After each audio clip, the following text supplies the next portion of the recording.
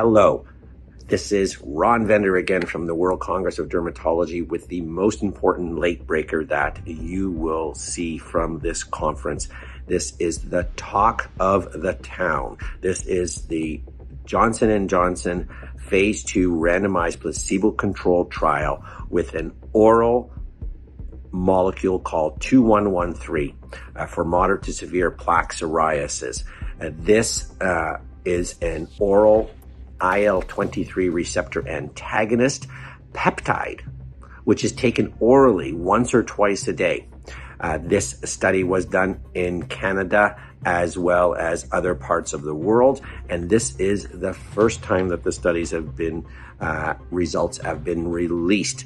Uh, the dose range from 25 milligrams once a day to 100 milligrams uh, twice a day for 16 weeks, with a four-week a safety follow-up, and then uh, these patients were uh, put on to a long term extension study uh, for one year.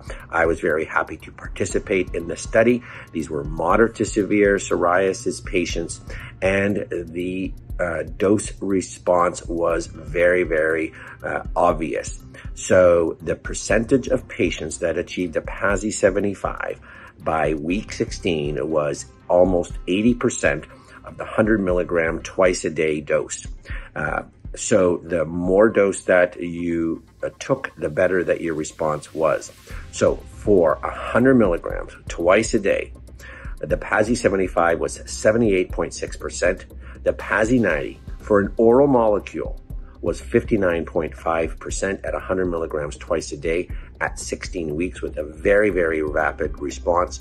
And uh, for PASI 100, it was 40.5% uh, of the patients reached PASI 100.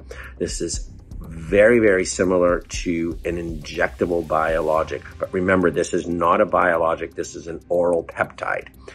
Uh, with respect to safety, uh, the uh, side effects were essentially upper respiratory tract infection and headache as well.